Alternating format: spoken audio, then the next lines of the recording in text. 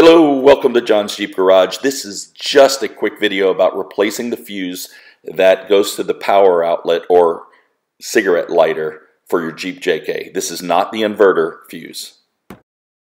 This is a 2016 Jeep Wrangler JK two-door.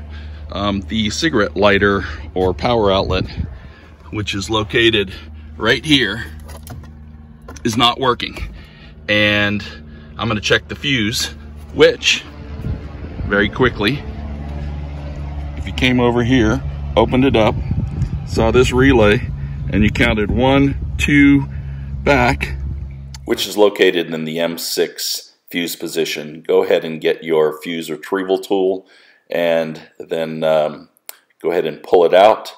That way you can inspect the fuse. This tool just pinches the edge and uh, pulls it out, makes it a lot easier for retrieval as you can see, that fuse is blown.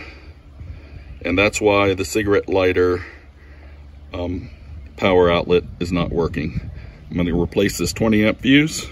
Remember, these are the mini fuses. And uh, again, just get the 20 amp. Put the fuse back in its slot, put the retrieval tool away, and you are done.